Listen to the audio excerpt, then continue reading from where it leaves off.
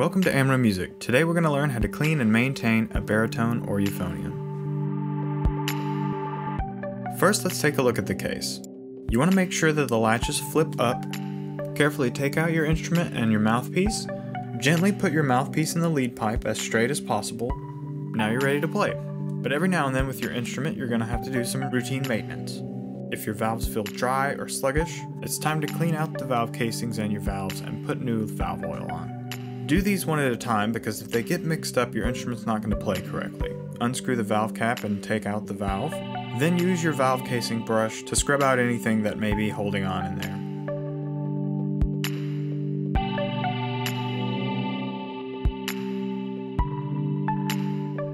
After that, it's good to roll up some paper towel and get out all that old valve oil.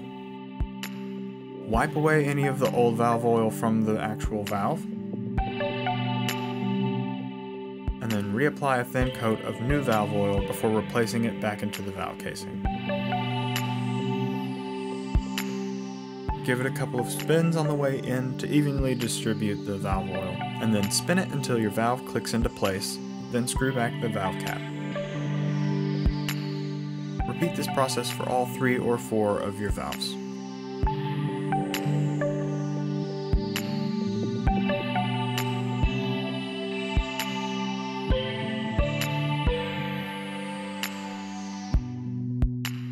Now it's time to clean your tuning slides. If they aren't moving easily enough, you need to clean off the old slide grease. I normally use paper towel for this. And then reapply a new thin coat of slide grease by hand. Make sure you take note of which side of the tuning slide goes where because if you're cleaning a euphonium, each side is going to be a different size.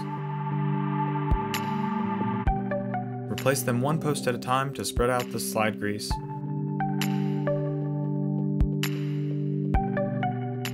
And then replace the tuning slide making sure it's in the proper orientation. And repeat that process for all of the other tuning slides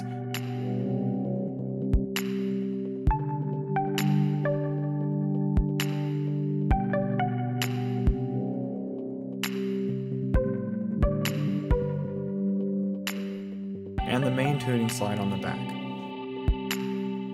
You should use your cleaning snake to scrub out anything from your lead pipe,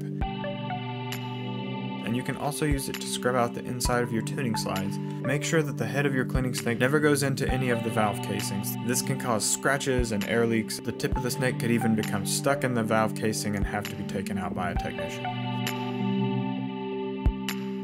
Make sure to scrub out your mouthpiece with antibacterial soap and warm water at least a few times a week.